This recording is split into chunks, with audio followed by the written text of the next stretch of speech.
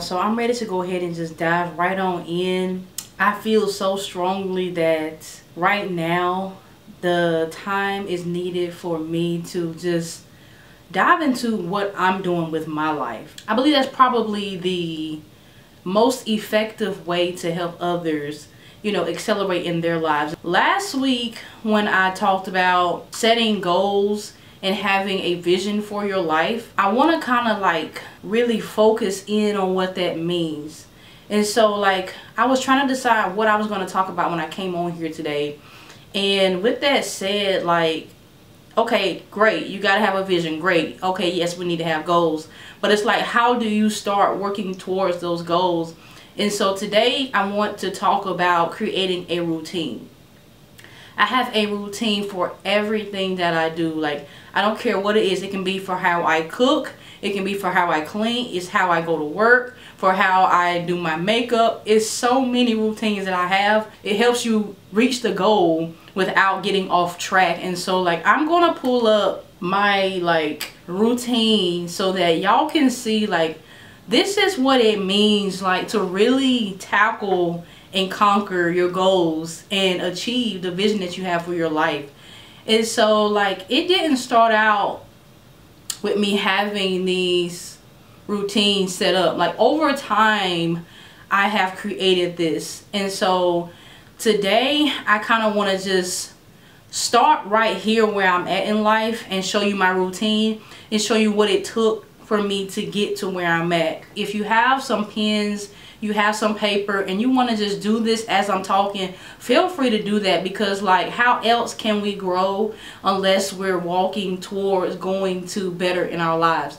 And so like I'm going to go ahead and talk about my let's let's go with my morning routine like what I do every morning when I get up. And so I work in the corporate world.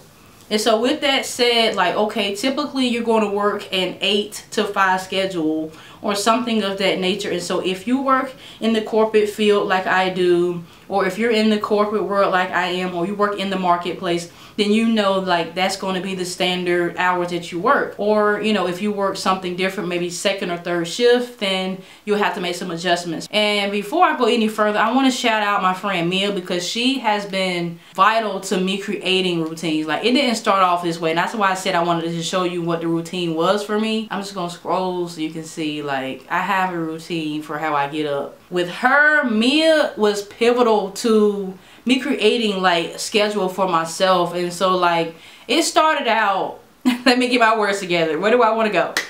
I was in a place of wanting more when it came to the makeup industry.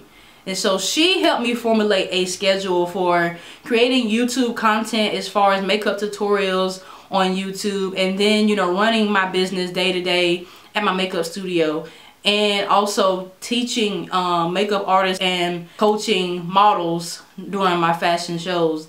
And also singing on the praise team and I was also creating music for myself as a artist.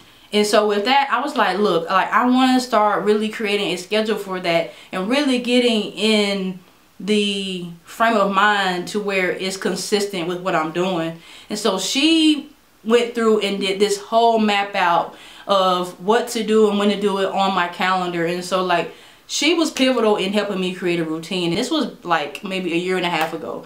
Ever since then I decided that I was going to create a routine. And so I wanted to share that because now I'm going to show you the routine I have now. And so for my morning routine this is Monday through Friday. Monday through Friday I wake up at 4:30 and this is my prayer time from 4.30 to 4.50 in the morning. This is when i read my bible and i read the daily plan that you can get on the bible app. And once that's done at 4.50 to 5.15 i go to the restroom i make up my bed I brush my teeth and i get ready for my workout. I begin my workouts at 5.20 and i work out till 5.50 so that's a 30 minute workout that i do every day. I fix my breakfast from 5.50 to 620 and then after that I get my shower from 625 to 650 and then I get dressed and put on my makeup from 6.50 to 7.10 and after that it's time to leave for work from 7.15 and then I arrive at work at 7.30 and so I have everything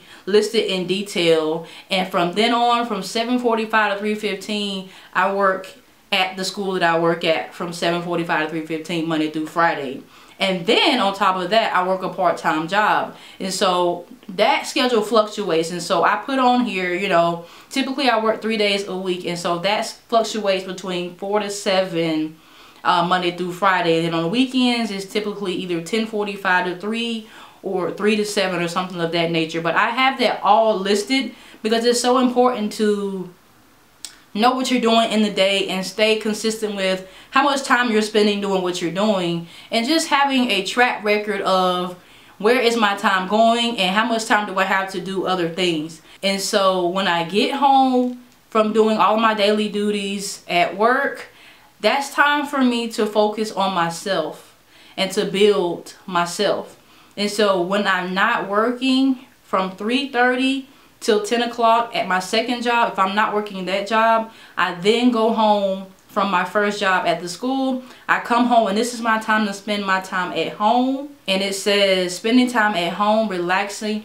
This is my devotional time. This is when I watch movies and I watch TV. It's my wind down time. And it says no working during this time or on the phone unless it's sorry excuse me i'm still kind of getting over a little cough. From 10 to 10 30 i'm already in the bed. This is my time to get on youtube and watch inspirational videos and get ready for bed. And so like when i say creating a routine is necessary to everything you do in life it helps you stay focused on where you're trying to get to in life. And so with the routine i created i know that the type of life that i want to live I love working in the corporate industry and so as someone who wants to work for themselves full time, this is the schedule that I would still follow so that I can maintain the level of success that I want to get to. What I would like to see you do, if you haven't already created a schedule for yourself, is to get focused on what things do you want to see for yourself. Where do you want to see yourself in life? And so for me, I'm a makeup artist, singer. I also love fashion. And with that comes having to be able to manage and balance all of that out. And so because of that, I have to have a routine. Sorry, y'all. Let me drink my little tea.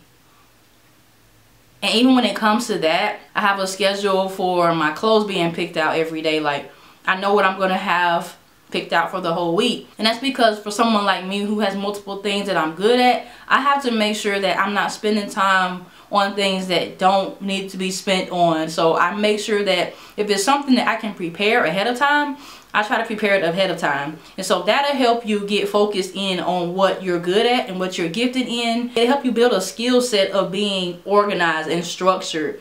So many people today don't understand that a routine is what helps you stay organized.